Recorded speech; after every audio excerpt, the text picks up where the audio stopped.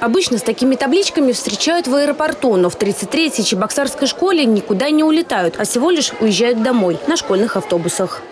Третий А-класс, подойдите ко мне, пожалуйста. Пазики и газели развозят детей в отдаленные микрорайоны Чебоксар, Новый город и Соляное. Всего 110 школьников. Это ученики первых-четвертых классов.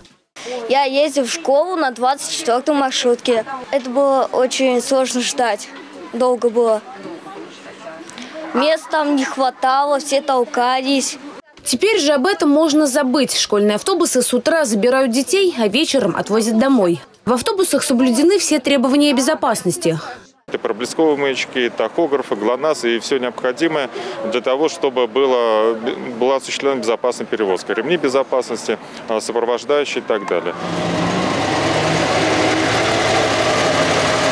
По правилам, учеников в одном автобусе сопровождает один взрослый. У Светланы Высоковой пятеро детей, трое из которых – школьники. Помогать перевозить ребят она согласилась одной из первых.